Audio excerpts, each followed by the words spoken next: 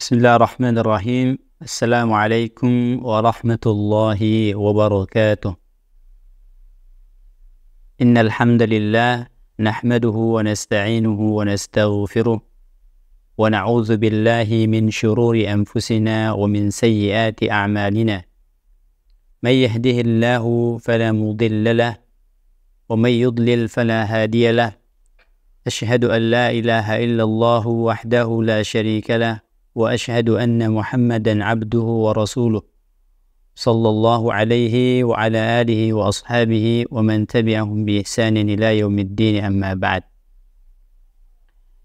يقول الله سبحانه وتعالى يا أيها الذين آمنوا اتقوا الله حق تقاته ولا تموتن إلا وأنتم مسلمون. Saudaraku kaum muslimin yang dimuliakan oleh Allah Subhanahu wa taala, Mari kita sama-sama bersyukur memuji Allah Subhanahu wa taala karena dengan nikmat dan taufik dari Allah Subhanahu wa taala kita bisa menjalankan ibadah yang sangat mulia dialah bulan suci Ramadan. Salawat serta salam selalu tercurahkan kepada Nabi kita yang mulia Muhammad sallallahu alaihi wasallam kepada keluarga dan sahabat-sahabatnya dan juga orang-orang yang senantiasa mengikuti jejak mereka hingga yaumil qiyamah.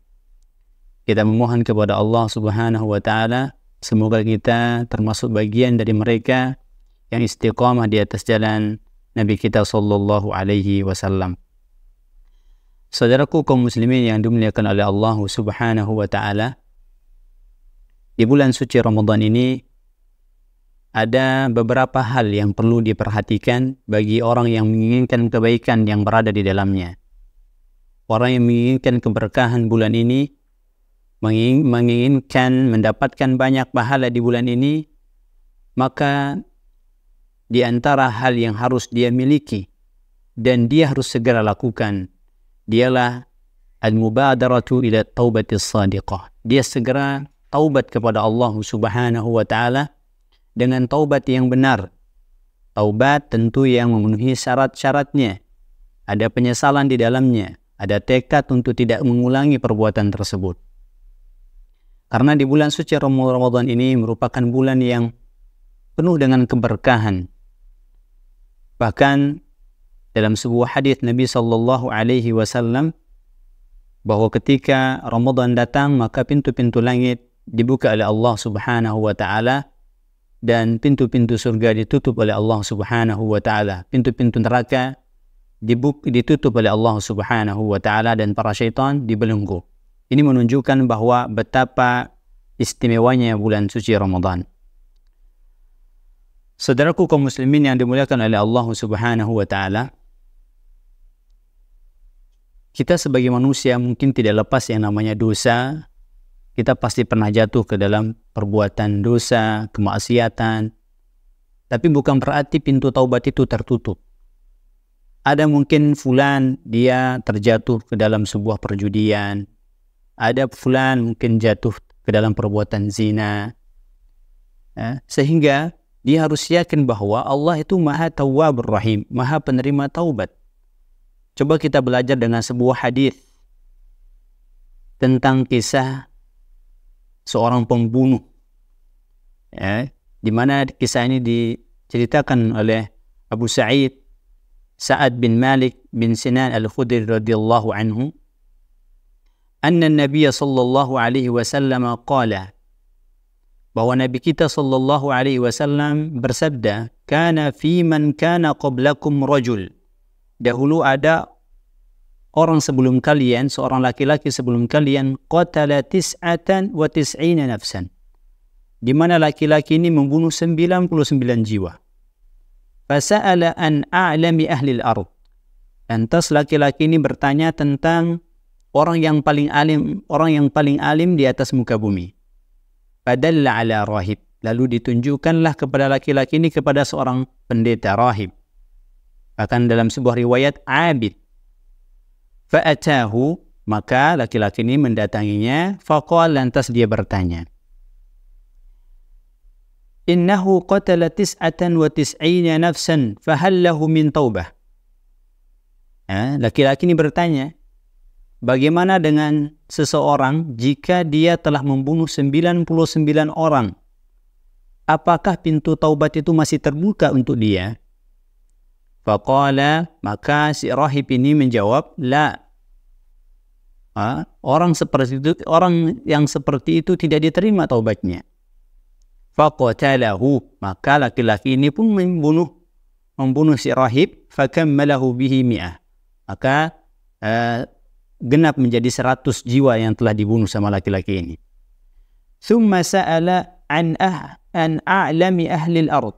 Kemudian setelah itu dia bertanya kembali tentang orang yang paling alim yang ada di atas muka bumi. Fadulla ala rajulin alimin.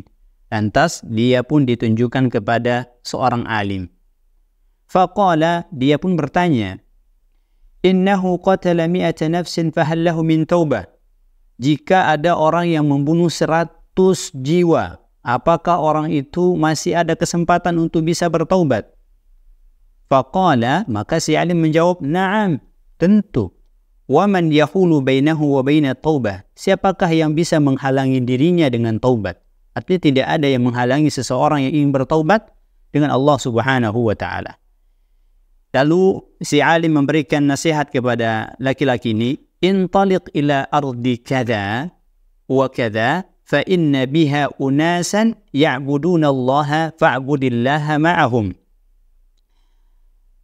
Maka beranjaklah dari bumi tempat kamu tinggal ini ke tempat sana jauh.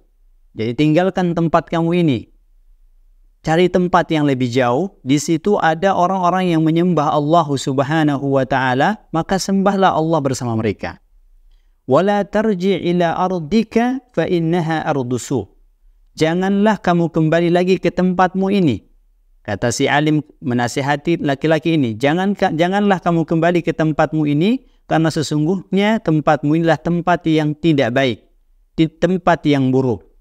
Fantalaqa maka lantas laki-laki ini pun uh, beranjak meninggalkan tempatnya hatta ida nasafat tariqa atahul mautu. Eh, hingga ketika pertengahan jalan ajal menjemputnya. Fahtasamat fihi malaikatur rahmah. Para malaikat ini malaikat rahmah dengan malaikat malaikat azab terjadilah perdebatan di antara mereka. Malaikat rahmat mengatakan sungguh laki-laki ini meninggalkan tempatnya dalam kondisi bertaubat dengan keikhlasan karena Allah. Sedangkan malaikat azab mengatakan, sungguh fulan belum pernah melakukan kebaikan sedikit pun. Fa'atahu malakun fi suratin adami. Ya, lalu Allah Subhanahu wa taala mengutus seorang malaikat dengan wujud manusia faja'aluhu bainahum untuk memutuskan sebagai pemutus dari perselisihan di antara di antara mereka. Faqala maka malaikat ini mengatakan qisu ma bainal ardaini fa ila ayyatihima kana adna fa huwa lahu. Faqasu fawajaduhu adna ila al-ard allati arada faqabadathu malaikatur rahmati. Jadi ketika malaikat ini datang ya, karena Allah Subhanahu wa taala mengirim malaikat ya semoga dengan diutusnya mereka uh, malaikat tersebut sebagai pemutus terhadap perselisihan di antara malaikat rahmat dan azab. Apa kata malaikat? Ukurlah jarak kedua kedua tempat tersebut. Artinya jarak tempat mulai dia keluar menuju tempat tujuannya dia. Tempat yang tidak baik menuju tempat yang baik. Kira-kira mana yang lebih dekat? Nah, kemudian diukurlah. Lalu ketika mereka sudah mengukur ternyata tempat tujuannya itu lebih dekat dari tempat-tempat yang ditinggalkan. Saudaraku kaum muslimin yang dimuliakan oleh Allah Subhanahu wa taala. Jadi dari kisah ini kita bisa mengambil banyak sekali manfaat. Banyak sekali faidah. Di mana di sini dikisahkan seorang pembunuh. Ya. Kita mungkin dosanya tidak sebesar sebesar laki-laki ini. Tapi lihat bagaimana betapa besar dan luasnya rahmat Allah Subhanahu wa taala. Allah Subhanahu wa taala Tawab Rahim. Ini yang harus kita selalu catat bahwa Allah pemaha penerima taubat. Ya, Allah maha penerima taubat. Bahkan di hadis yang lain yang diceritakan oleh Anas bin Malik radhiyallahu anhu dia berkata saya pernah mendengar Rasul sallallahu alaihi wasallam bersabda Qala Allahu Allah berfirman ini hadis qudsi ya bani Adam innaka ma da'awtani wa rajautani wa fartu laka ala ma kana minka wa la ubadi. Wahai manusia, wahai bani Adam, jika engkau berdoa kepadaku dan berharap kepadaku, maka aku akan ampuni dosamu dan aku tidak peduli. Allah tidak peduli berapa berapa betapa besar dosa yang pernah kita lakukan. Wa qala ya ibn Adam law balagat dunubuka anana sama. Wahai ibn Adam, jika dosa-dosamu itu menumpuk memenuhi langit eh, sebesar eh, apa namanya sebanyak awan Thumma astaghfartani, kemudian engkau memohon ampun kepadaku, ghafartu laka, kata Allah, aku akan ampuni dosamu dan aku tidak peduli. Thumma ya bena Adam, kemudian wahai manusia, innaka law ataitani biqurabil ardi khataya. Jika engkau datang kepadaku membawa uh, sepenuh bumi ini kesalahan semuanya. Thumma laqitani la tusyrik bi. Kemudian engkau datang membawa dosa tersebut dalam kondisi tidak menyekutukan Allah Subhanahu wa taala, la ataituka biqurabiha maghfiratan. Maka aku pun akan datang dengan sepenuh itu juga membawa ampunanku. Saudaraku kaum muslimin yang dimuliakan oleh Allah Subhanahu wa taala, betapa luasnya rahmat dan kasih sayang Allah Subhanahu wa taala. Maka tidak boleh kita putus asa daripada rahmat Allah. Kita sekali lagi mungkin pernah melakukan kesalahan, namanya manusia. Bahkan kita tidak pernah luput dari namanya salah. Tapi jangan sampai kita diam dalam kesalahan, kita segera taubat kepada Allah dan mohon ampun kepada Allah Subhanahu wa taala. Dan juga di antara faidah yang bisa kita ambil dari kisah di atas, eh, di mana Allah Subhanahu wa Ta'ala berjanji akan mengampuni setiap dosa seseorang, meskipun dosa besar, selama dia mau bertaubat. Ini catatannya selama dia mau bertaubat. Dan ini Allah kabarkan dalam firman-Nya, "Qul ya ibadiyalladzina asrafu ala anfusihim لا La taqnatu min الله Inna Allah yaghfiru dhunuba jami'a innahu huwal innahu huwal ghafurur rahim.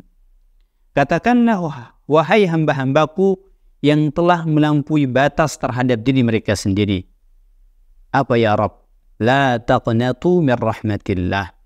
Janganlah kamu berputus asa dari rahmat Allah. Ya, Allah katakan janganlah kamu berputus asa berputus asa dari rahmat Allah Subhanahu wa taala. Kenapa? Inna Allah dzunuba jami'a. Sesungguhnya Allah mengampuni dosa semuanya. Innahu huwal ghafurur rahim. Karena kita punya Allah, dia maha pengampun dan juga maha penyayang. Maka Imam Ibn Kathir rahimahullah, ya, Imam Ibn Kathir ketika mentafsirkan ayat ini beliau mengatakan, Ayat yang mulia ini merupakan seruan kepada setiap insan yang berbuat kemaksiatan, baik mungkin dosa kecil, dosa besar, atau mungkin dia jatuh kepada kekufuran. Maka ayat ini mengabarkan bahwa Allah akan mengampuni seluruh dosa-dosa bagi siapa yang ingin bertaubat dari dosa-dosa tersebut. Walaupun dosa yang ia kerjakan adalah dosa besar. Jadi kata kuncinya dia bertaubat kepada Allah Subhanahu wa taala. Maka kesempatan buat kita saudaraku di bulan suci Ramadan, bulan yang penuh dengan keberkahan, bulan yang mulia ini, maka segera kita kembali kepada Allah Subhanahu wa taala. Dan juga di antara pelajaran yang kita bisa ambil dari kisah di atas, janganlah kita membuat seorang itu putus asa daripada rahmat Allah Subhanahu wa taala. Jadi ketika uh, menjelaskan surah Az-Zumar ayat yang ayat yang ke-53 Ibnu Abbas mengatakan Barang siapa yang membuat seseorang hamba itu berputus asa daripada bertaubat setelah turun ayat ini maka ia berarti telah menentang kitabullah azza wa jalla. Akan tetapi seseorang hamba tidak mampu untuk bertaubat sampai Allah memberikan taufik padanya untuk bertaubat. Jadi kita itu nggak bisa keluar dari zona keburukan kalau tidak diberikan taufik oleh Allah Subhanahu wa taala, tidak diberikan hidayah oleh Allah Subhanahu wa taala. Maka mintalah hidayah ini kepada Allah Subhanahu wa taala. Jangan kita lalai bahwa sekali lagi mungkin kita lingkungannya terkadang kurang baik. Sementara kita ingin jadi yang baik. Jika kita tidak mau keluar dari lingkungan yang tidak baik, maka tentu kita akan terus terpengaruh dengan keburukan-keburukan yang ada di sekitar kita. Maka lihat coba apa yang si alim uh, anjurkan, sarankan kepada laki-laki pembunuh tersebut, dia diminta untuk keluar dari tempatnya yang tidak baik untuk mencari tempat yang lebih baik. Artinya bahwa betapa besar pengaruhnya sebuah lingkungan. Biah yang tidak baik tersebut harus segera kita cari tempat yang lebih baik ketika kita ingin menjadi insan yang lebih baik. Tetapi kebanyakan di antara uh, orang-orang yang menginginkan menjadi pribadi yang lebih baik, tapi dia melupakan yang ini. Dia diam di tempat yang dia berada, padahal tempat itu nggak pas buat dia untuk melakukan ibadah kepada Allah Subhanahu wa taala. Maka di sini saran seorang alim kepada eh, laki-laki uh, pembunuh tersebut intaliq ila makani kada wa kada. Eh, engkau segera tinggalkan tempat ini pergi ke tempat yang jauh karena di situ ada orang yang menyembah Allah Subhanahu wa taala dan sembahlah Allah bersama mereka. Saudaraku kaum muslimin yang dimuliakan oleh Allah Subhanahu wa taala. Dan juga di antara pelajaran yang bisa kita ambil dari kisah eh, laki-laki tersebut, seseorang yang melakukan dosa beberapa kali lalu dia bertaubat, artinya dia ulangi dosanya tersebut. Dia dia bukan hanya jatuh sekali atau dua kali, mungkin sering dia melakukan dosa. Eh, maka Allah akan ampuni dia. Allah akan mengampuni dia selama dia bertaubat kepada Allah, memohon ampun kepada Allah Subhanahu wa taala. Dan hal ini juga dikabarkan oleh Nabi kita sallallahu alaihi wasallam dari Abu Hurairah radhiyallahu anhu bahwa Nabi sallallahu alaihi wasallam uh, bersabda dalam hadis kursi aznaba 'abdun dzanban uh, ada seorang hamba, hamba yang telah melakukan dosa maka hamba ini mengatakan mengatakan Allahumma ghfirli dzanbi ya Allah ampuni dosaku faqala tabaraka wa ta'ala kemudian Allah Subhanahu wa taala berfirman أذنب عبدي ذنبا فعلم أن أن له ربا يغفر الذنب ويأخذ ويأخذ بالذنب Hambaku telah berbuat dosa dan dia sadar, dia tahu bahwa dia punya Rob yang mengampuni dosa. Kemudian dia pun eh, memohon ampun kepada Allah Subhanahu wa taala, maka Allah pun mengampuni dosanya. Kemudian summa ada fa'adnaba. Kemudian hamba ini kembali melakukan dosa, lalu dia mengatakan Rabbi gfirli, ya Rabbku ampuni aku, ampuni dosaku ya Allah. Maka Allah pun subhanahu wa ta'ala mengatakan, Abdi aznaba dhanban, hambaku telah melakukan dosa, fa'alima annahu anna lahu rabban yaghfiru dzamba wa ya'khudhu bidzambi. Dan dia sadar bahwa dia punya Rabb yang mengampuni dosa, kemudian dia uh, memohon ampun kepada Allah Subhanahu wa taala maka Allah pun mengampuni dosanya. Kemudian dia mengulangi dosanya lagi. Kemudian dia mengatakan Rabbi ghfirli adzambi ya Allah ampuni ya dosaku. Maka Allah pun juga mengatakan hal yang sama. Hambaku telah berbuat dosa dan dia tahu bahwa dia punya Rabb yang mengampuni dosa maka Allah pun juga mengampuni mengampuni dosanya. Lihat bagaimana Allah Subhanahu wa taala mengampuni dosa-dosa hambanya. Sekalipun hamba tersebut mengulangi dosa-dosa tapi selama dia memohon ampun kepada Allah Subhanahu wa taala maka Allah akan mengampuni dosanya.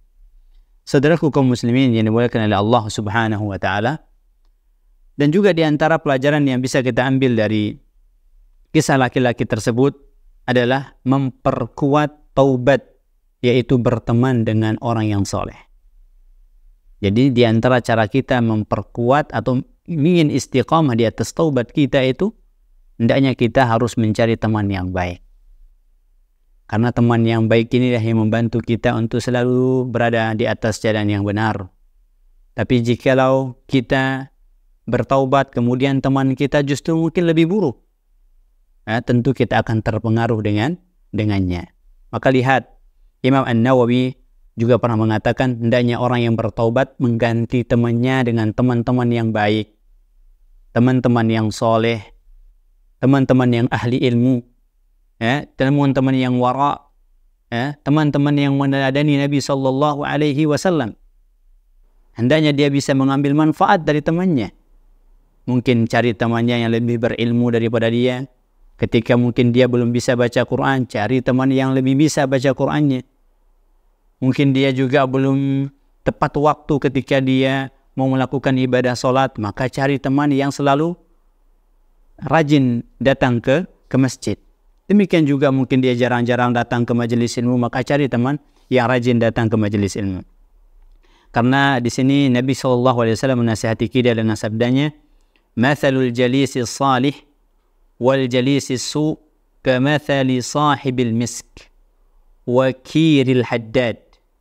لا يعدمك من صاحب المسك إما تشتريه أو تجد ريحه وكير الحداد يحرك بدنك أو ثوبك أو تجد منه ريحا خبيثة Kata Nabi sesungguhnya seorang eh, seseorang yang duduk berteman dengan orang yang soleh dan orang yang jelek adalah bagaikan berteman dengan pemilik minyak misk dan pandai besi.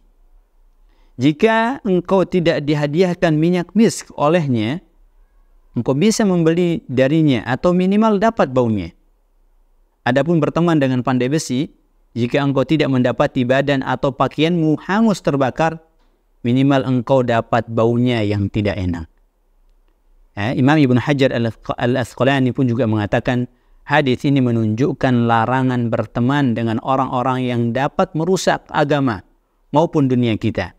Dan hadis ini juga menunjukkan dorongan agar kita bergaul dengan orang-orang yang dapat memberikan manfaat dalam agama dan juga dunia kita.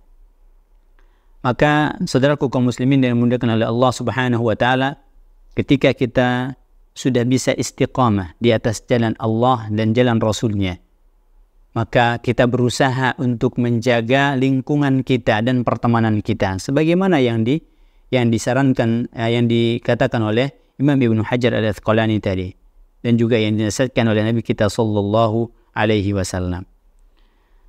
Dan masih banyak lagi tentu terkait tentang pelajaran yang bisa diambil daripada uh, kisah eh, laki-laki uh, pembunuh tersebut. Tapi di antara apa namanya pelajaran yang bisa kita ambil mungkin sampai sana sampai apa namanya uh, bahwa kita perlu mencari teman yang lebih baik ya. Karena ketika kita memiliki teman yang baik, teman yang saleh, teman yang lebih dekat kepada Allah Subhanahu wa taala, maka di saat kita lagi lalai, di saat mungkin kita kurang termotivasi, maka dengan keberadaan mereka insya Allah akan membangkitkan motivasi kita untuk menjadi lebih dekat kepada Allah Subhanahu wa taala. Barakallahu fikum wa jazakumullahu khairan. Thumma assalamu alaikum warahmatullahi wabarakatuh.